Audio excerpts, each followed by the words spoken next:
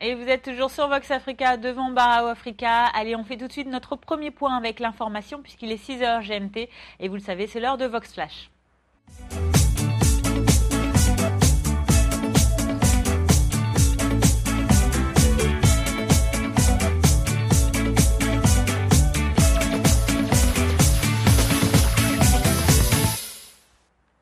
Et on ouvre notre flash information de ce vendredi 6 novembre au Burkina Faso.